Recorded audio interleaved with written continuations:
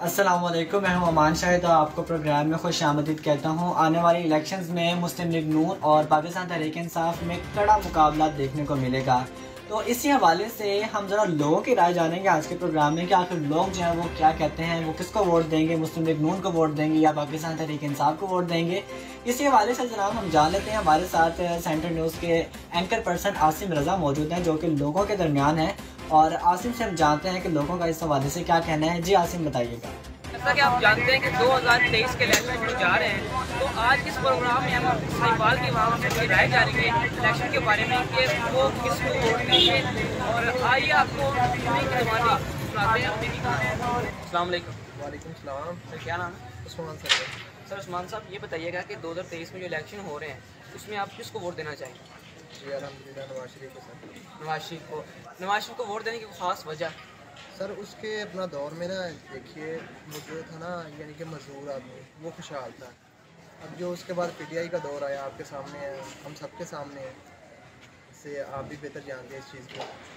अभी तो नून लीग की हुकूमत है इस सूरत हाल में। वो ना एक कोई भी चीज़ अब मैं ये काम कर रहा हूँ ठीक है ना? अब ये मैं ये काम कर रहा हूँ अब इसमें यानी कि लॉस हो जाए मुझसे पहले जो था इधर ठीक है ना? वो मुझे मैं इधर आ जाऊँ तो वो मुझे कहे ये आपने इसको चलाना मैं कैसे चलाऊँगा? जब इसमें रास ही नहीं है इसमें पैसा ही नहीं है इसको कैसे चलाऊँगा मैं? थैंक यू सर दो हज़ार तेईस के इलेक्शन तो आप किसको वोट देना चाहेंगे जी ये देखें बात सिंपल सी ये ये है ना तो हम किसी स्पोर्ट की बात ये है मकसद ये हमारे मुल्क का जो बेहतरीन हल निकाले ना हमें तो बंदा वही अच्छा लगेगा।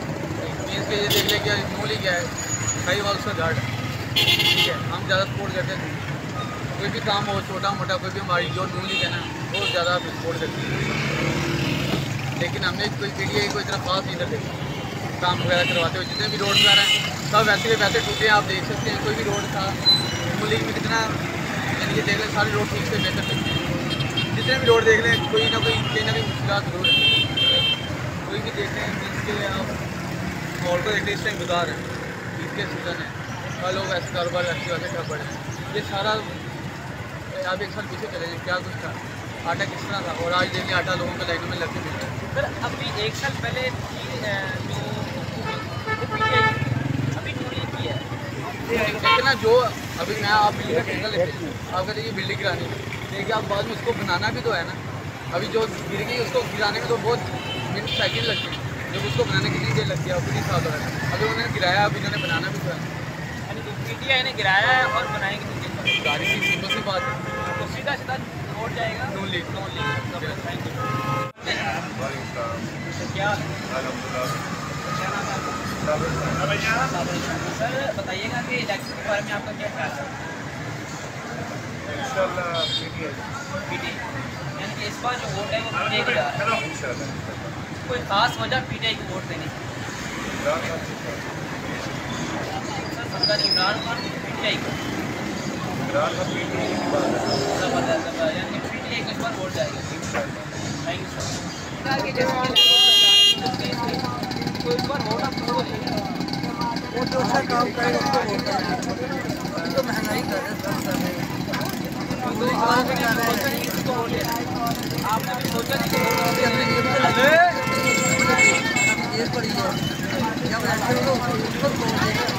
जब हमारा पाकिस्तान का ख्याल करेगा हम आपका ख्याल करेंगे महँगाई कम करेगा अभी महँगाई हो। जो रिफॉर्म देगा उसको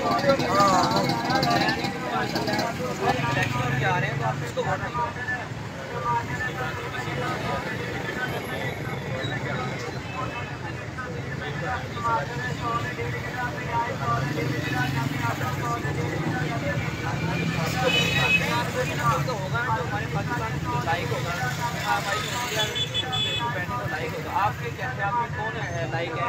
उसको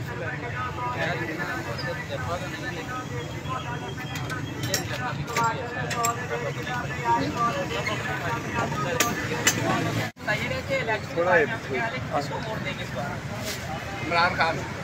खास वजह बहुत अच्छे बंदे हैं। बहुत अच्छे बंदे और इसके अलावा? अल्लाह की आई होगी वोट देने से काबल नहीं है वोट के जाता। है किसको कह रहे हैं किसको वोट किससे नहीं वोट देना है। किससे करके बंदा अपना रूटीन धंधा करेंगे इतने पास लगे। पिताजी ठीक है। सर दो हज़ार तेईस में जो इलेक्शन हो रहे हैं इसमें किसको वोट देना चाहेंगे? पीटीआई को वोट देना है। पीटीआई को वोट देने की कोई खास वजह? बस अच्छा लीडर लगा इसलिए। अच्छा लीडर लगा इसलिए वोट पीटीआई को देना thank you so much thank you बहुत शुक्रिया आसिम रज़ा लोगों की राय जान रहे थे आने वाले इलेक्शंस के हवाले से कि वो किसको वोट देंगे और किसको नहीं देंगे। प्रोग्राम आपने देखा। इसके फीडबैक का रहेगा इंतज़ार। आपसे इंशाल्लाह अगले प्रोग्राम में की मुलाकात। जब तक के लिए अल्लाह ने